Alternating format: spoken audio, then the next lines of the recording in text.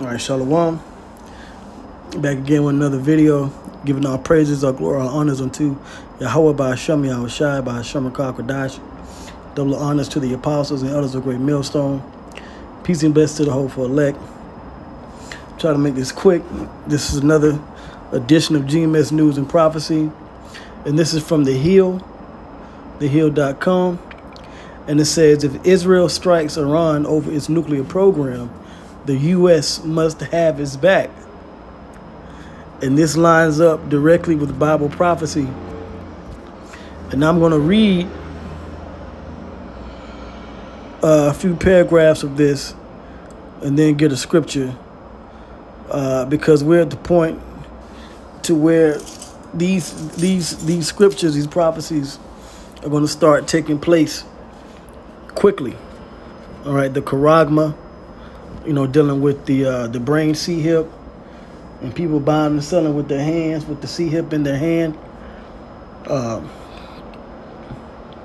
along with the uh, coming threat of the War of Armageddon, and this is going to lead right into it.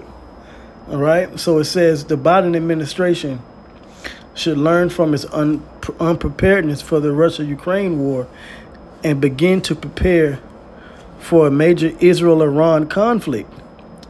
The administration needs to set aside its differences with the Israeli government, overcome its aversion to conflict with Iran, and begin to work closely with Jerusalem to prepare for the growing likelihood that Israel will feel it has no choice but to initiate a military campaign against Iran's nuclear program. So we're we're seeing the beginning stages of major prophecy come to pass, man.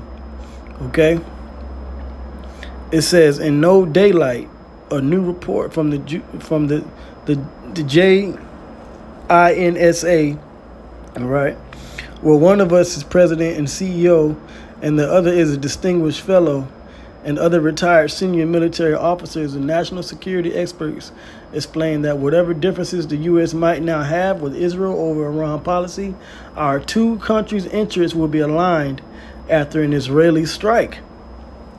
Consequently, in preparing its response, the U.S. guiding principle should be no daylight with Israel to ensure Israeli military success, mitigate Iranian retaliation, and limit the scope of the conflict, vital interests for both countries.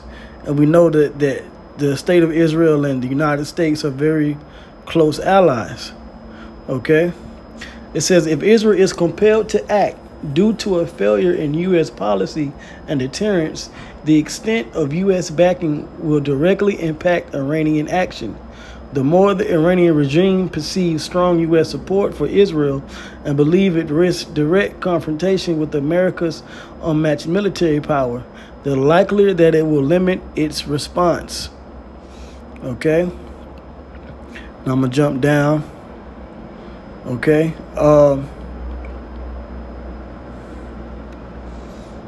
it says the Biden administration and Congress must act now to signal U.S. support for Israel. This includes amplifying recent assertions by Secretary of State Antony Blinken and National Security Advisor Jake Sullivan that the United States supports Israel's freedom of action. Further, the U.S. should publicly, publicly reassert its automatic support for Israel in any conflict between Israel and Iran including proxies like Hezbollah and Hamas. So this is pretty much what they're saying is that if Israel wants to strike Iran for their nuclear proliferation and their their different um, you know programs to get these missiles and ICBMs and things, then the U.S. would have to to back them up. And they have been at odds over the last few years, especially now that you got them protests and things over there, over there uh, with the Bibi. Okay, but per the prophecies of the scriptures, th this has to happen. Okay, this has to happen. All right, this here has to happen. All right the U.S. has to have uh, they're back over there. All right. In the state of Israel, if they strike Iran. And I'm going to show you. So now let's go to the scriptures. Let's go to the prophecies. All right. And let's see if I can, let me see, Jeremiah 51.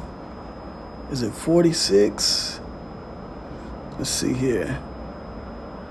Uh, now this is dealing with Babylon, but it's actually in two places. Let me get this because the scripture says that the least of the flock. Now the flock is talking about the Edomites. Okay. Yep. Okay, it's Jeremiah 50, 45. Okay, the Edomites. All right, let's get this in Jeremiah 49 and 20. It says, Therefore, hear the counsel of the Lord Yahweh. So this is all the counsel, it's all the plans and purposes of Yahweh by Hashem Yahweh Shai. It says that he had taken against Edom. Okay? And his purposes that he hath purposed against the inhabitants of Teman. So this is dealing with the Edomites' judgment.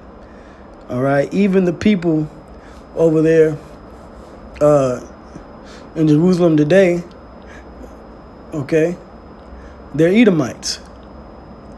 And it says, surely the least of the flock, so surely the least of the people of Edom shall draw them out.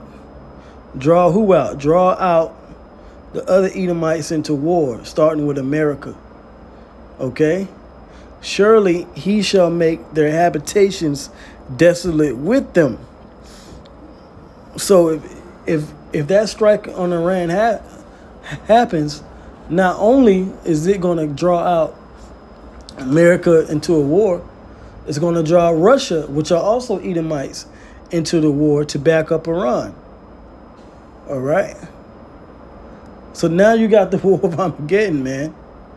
And that's the main this this, this news here that I just read from the hill. This is the main prophecy we're looking for. A lot of the other the other news is good, but this is what we're looking for. Okay? And when that happens, not only is now we talk about America being totally destroyed, but but that land over there, uh, state of Israel, that will be too. But it's going to be brought back from the destruction, from the sword, as the scriptures say.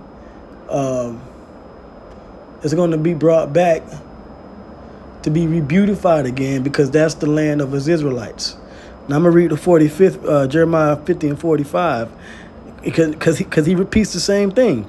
Therefore, hear ye the counsel of the Lord Yahweh that he had taken against Babylon. So now he's making an even more clear point. He's talking about Babylon. We're just talking about uh, America, Babylon the Great. And his purpose is that he had purpose against the land of the Chaldeans. Surely the least of the flock shall draw them out. So America's going to have to back up this strike. Surely the least of the flock shall draw them out. Surely he shall make their habitation desolate with them. So that's going to cause a whole thing, conflict, war, uh, when this takes place in it's Bible prophecy. But uh, with that, I'm going to end it here. All praises go to Yahweh Bashim Yahushai, Bashim Kodash. Double honors to the apostles and elders of Great Millstone. Shalom.